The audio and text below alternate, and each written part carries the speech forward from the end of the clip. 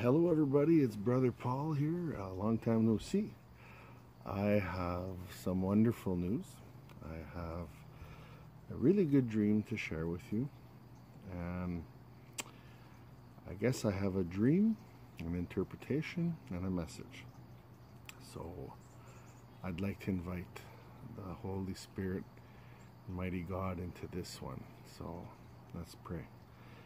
Heavenly Father, I come to you in the name of Jesus.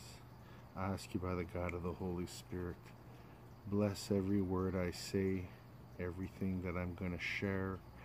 Bless those watching, give them the guide of your Holy Spirit so that they may understand and discern this dream, so that they may understand it the way you gave it to me. I thank you for everything you do for us, Lord and I ask for a wonderful blessing for all of those who are here in fellowship today. I say this in the name of Jesus. Amen. All right, guys. Um, I'll just get right into the dream and I'll do my message at the end. So, I had a dream, and it was actually this morning. So, I woke up in the middle of the night. It was about 3.15. Uh, today, by the way, is September 4th, 2019. And I had the dream, and I had this overwhelming, uh, powerful feeling that I needed to teach people this dream. So I'm just going to get right into it. So I'm going to go right into what I wrote. Uh, people were trying to work out. I saw myself, I saw my brother Daniel, and there was a third man, no idea who they were. I believe we were younger versions of ourselves because I didn't have white hair and I was back in my old wrestling shape. I was in really good shape in this picture or in this scene. and uh, I saw, I guess I was looking at my brother and he asked me, How, how much do you weigh? And I answered in my dream, I weigh 280. Uh, the funny thing is, I didn't look that heavy, but that's what I answered. So I continued uh, in the dream, and we were, I guess, working out or whatever, and it kind of jumped to the next scene, and I knew that there was a race going on, and I was heading toward an area where I knew there was going to be a race, and while I was walking there, I was noticing along this river that there was snow on the snowbanks so I kind of looked at it and I continued walking into a direction and I saw a very, very, very large group of people all sitting on the ground and nobody was making a sound and everybody looked like they were concentrating. They were about to do something. So what else did I write here? Uh, they were waiting to get into the water and they were aware that this water was very cold and I looked up at this river and it was zigzagging up the mountain. Kind of like if anybody's ever hiked anywhere the mountains tend to do this but I was looking at the water going up that way. So what else did I write here? So it was it was definitely a race and uh, they were waiting to get into these boats. And in the in the dream I was seeing people sitting in kayaks. And this is kind of cool because if you, uh, I'm going to put a picture up of my very first time kayaking a couple of weeks ago in the, the Alberta Banff area. So for me, this was a new experience. And I guess that's why God showed me uh, kayaks because for me, it's a new thing. So he shows me things in my dreams that I can relate to. So anyway, people were getting into these kayaks and I was watching people leaning over assisting them. Like people were helping them pull them along the water. And yeah, so I, I, saw them being assisted along the way. But I guess I was watching this. I, I followed these people going up the river. And then it got to a point where nobody was assisting them and it was no longer easy to get up the mountain. And I saw a woman sitting in a kayak and she was kind of dragging herself literally one foot at a time. And then she got to a point where she had to like get up to a higher level or the next level and she couldn't. She was stuck there. So, um, what did I write here? Nobody was there to help. I saw a woman struggling to get up over an obstacle. I wrote the the river, like I mentioned, was zigzagging fashion all the way up, and all of a sudden, where the water stopped, it became a canopy. So I don't want you to visualize a canopy like one over a window or anything like that on a house. I want you to visualize uh, a hammock because it was in the shape of these very long, they looked like hammocks. So the boats became hammocks. And some of them were intact, and many of them had holes in them. So, again, I was observing, continuing to follow this pattern of what became canopies and it was going upwards and I saw many of them that were ripped and uh, suddenly it changed to another scene and I saw a large group of people walking in a mall and they were on the main floor and I was on well at least I think it was me I was on the second floor and I ran into an engineer some man was just standing there and he was watching all these people trying to find different ways. And uh, what did I write here? And they were looking for any other way to get up the mountain. And this engineer when he saw me so I guess it was me uh, he gave me directions. And this is how the dream ended. So I want to read all this and then I'll put up scripture and then we'll talk about at the end of what all this meant so the first one was a working out it was a 1 Timothy 4 8 for while the body bodily exercise profiteth little but godliness is profitable unto all things, having promise of the life that now is and of that which is to come. Now, the second one was my brother Daniel. So, when I looked this up, it was attached to actually two things Brother Daniel and the 280 both both equaled the same scripture daniel 5.12 for so much as an excellent spirit and knowledge and understanding, interpreting of dreams, and showing of hard sentences and dissolving of doubts were found in the name uh, in the same Daniel, whom the king named Belshazzar. Sorry if I said that wrong. Now let Daniel be called, and he will show the interpretation. So that was an interesting one. I'll get to that at the end. Uh, next one was the word race, uh, which is a symbolic of a journey in your life. And it was attached to Ecclesiastes 9.11.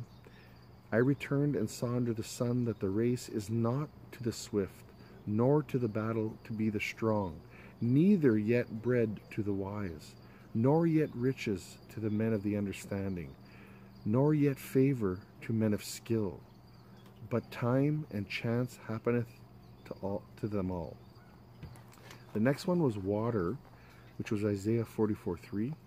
Uh, For I will pour water on him that is thirsty, and floods upon the dry ground.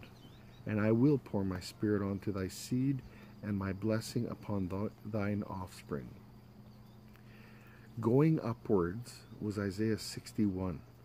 Arise, shine, for my light is gone, for thy light is gone, and the glory of the Lord is risen upon thee. The next one I was looking for in the mall, and I was shocked to find one called just Mall. It was attached to Exodus 19:7. And Moses came and called for the elders and the people, and laid before their faces all the words which the Lord commanded him. Cold water was the next one attached to Matthew 10:42.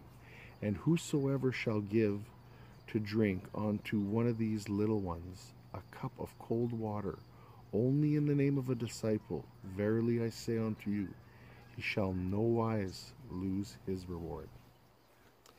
The next one was I was looking for snowbanks. I found snow, and it was Jeremiah eighteen fourteen. Does the snow of the Lebanon leave? Um, oh man, I can't even read, read my writing. Uh, I think it says crags. I don't know what I wrote here. Leave the crags of Sirion.